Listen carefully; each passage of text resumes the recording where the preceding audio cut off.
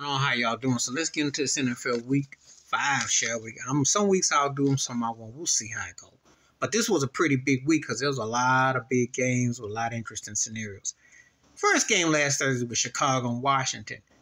And uh, Mr. Fields tore Washington's behind up. Uh, he got down I think the Bears are going to put Fields on uh, with the block, but it was a heck of an audition. As a matter of fact, he's everything that Washington and Magic Johnson would love as a quarterback. That's Justin Fields is everything they would need. Either him or Kyler Murray. And he tore they behind up. Washington is a decent defensive team. They don't have enough offense, and I think that's what's going to cost Ron Rivera. And Eric Bieniemy is sitting right there. You need a up tier quarterback, at least a second tier. Can't be dealing with these third tier cats, especially when you're not that productive and not that good. Elsewhere, my Buffalo Bills went across the pond to London, and they got they behind toe up. Jacksonville beat that butt. Trevor Lawrence came up clutch. The Jacksonville line was beating them up on both sides of the rock. Josh Allen got caught deer in headlights throwing some haymakers. It really wasn't that much of a game. Jacksonville got physical, got them goods, and it was it. And the Bills got some question marks because they stopped the run and they neutralized them, and he got caught throwing passes, and just was a frustrating day. Jacksonville is doing good across the pond, and uh, they won the game. Miami beat the Giants. No surprise. Who can't beat the Giants? And everybody knows the Giants. If they're not playing third and fourth tier teams, there's not much to them. They can hang a little bit with second tier teams, but anybody that's legit like Miami. Tua got back after what the Bills did to him. He hit Tyreek Hill. They were running and dancing and waving at him. It's a long season for the Giants. Just saying. Daniel Jones overpaid, and I don't even Saquon Barkley there or not. The Giants just stink. They're not good.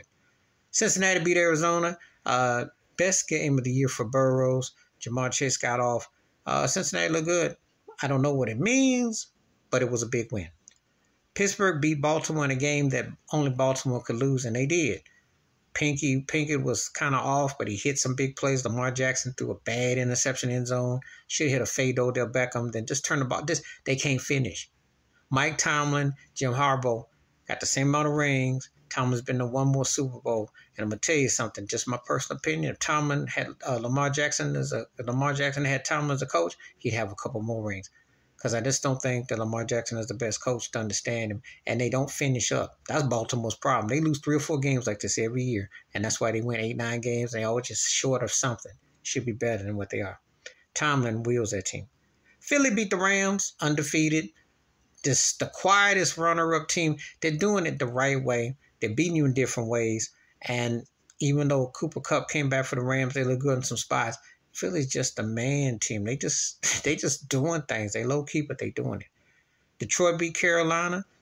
Make the debate the third or fourth best team in the NFC right now. Detroit beat that butt. Carolina is long year for Bryce Young. I don't know when they're gonna get their first win. They have they they got growing pains. This is real. Jets beat Denver in that Paul Hackett Bowl and Sean Payton talking all that trash. The Jets tore they behind up, and Zach Wilson looked good in this game. But Denver sucks so bad, and it's not all on. It's part Russell Wilson, but they're different. They're just not. Sean Payton is not the answer, and they look like they just didn't quit on him. And speaking of quitting, New Orleans rolled all over New England. New England rolling over like a dog. Mac Jones is hot garbage. Mac and cheese can't get it done. And Bill Belichick ain't got nowhere to cheat, ain't nowhere to hide. Missing Tom Brady and missing a lot of action. They got an outright outscored 72 to 3 the last two weeks. And even though New Orleans, Alvin Kamara and Derek Carr are decent, they ain't put up no, they haven't only averaged 16, 17 points in the Dennis Allen era as the head coach. So them to throw a 34 burger on them, New England sucks. And I think they can already quit on Belichick. I think the season is lost right now. Vegas beat Green Bay tonight.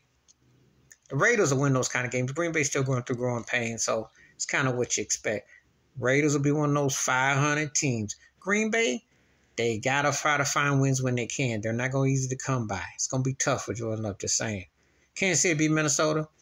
Typical Super Bowl team, getting everybody's best, win some ugly games, do enough to win. That's what Patrick Mahomes does. Andy Reid passed Tom Landry for, I think, fourth place in the winningest uh, coaches ever. That says a lot. He won a lot with Patrick Mahomes. He's gonna keep on winning.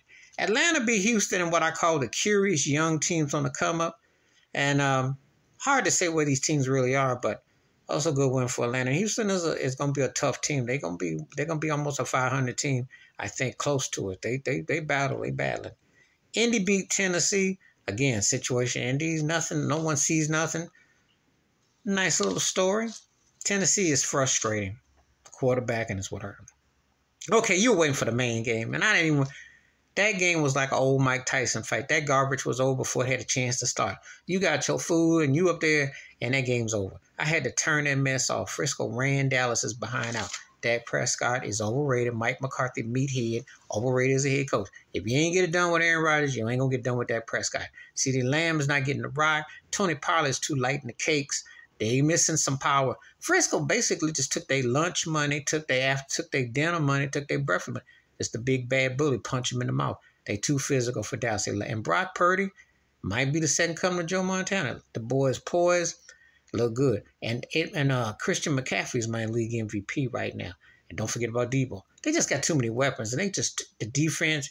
I mean, they just too much for Dallas. Dallas, it's like a man's against boys. It's like varsity against JV, and not even JV. I'm talking about junior high before you get to, to JV. Just not on the same tier at all knocked them out. It was over before it started. The same old Cowboys.